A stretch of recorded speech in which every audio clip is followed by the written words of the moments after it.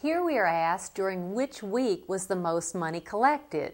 To see which week we had the most money collected, study your graph for a moment and you're looking for the week with the most dollar bill symbols.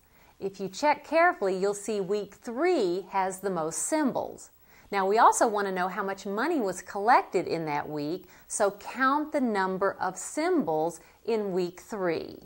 If you count the number of symbols, you'll have seven symbols in week three, so let's determine how much money was collected.